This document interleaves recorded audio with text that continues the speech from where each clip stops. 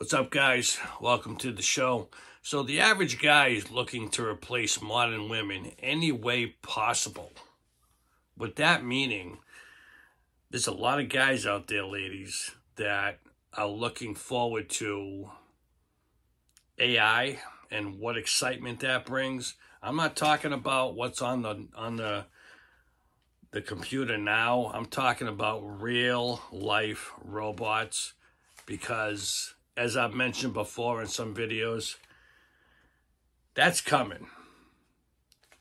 And all you modern women that play the field or give too much shit to men, you're going to be turned off like a spigot.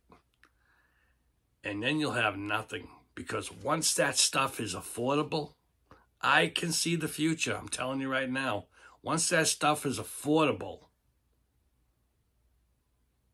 there isn't even a market for you guys anymore.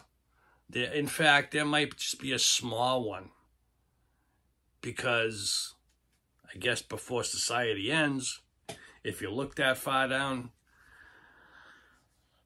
men are going to be here, women are going to be here. God knows what's going to be in the middle of us. Who knows what what type of artificial craziness will be like or what will what kind of technology will be around in 20 years saying this is what society's like now? I'm glad i lived when i lived and i'm glad i had the years i had. I played a little bit. I had some fun. I'm having fun right now.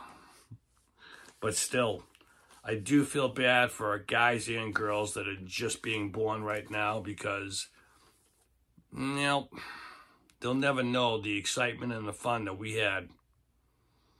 I'm talking about the 60s, the 70s, the 80s, the 90s, 2000s, yeah.